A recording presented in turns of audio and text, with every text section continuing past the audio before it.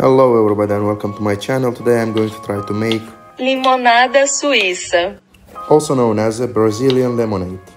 I'm making this beverage for two people so I'm going to use just one lime and two glasses of water.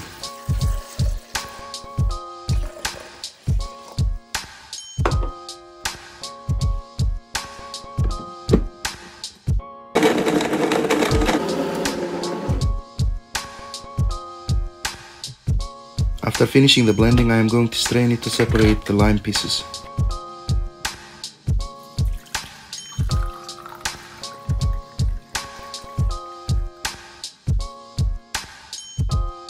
After straining it, I am putting the liquid back into the blender, adding some condensed milk and some ice cubes.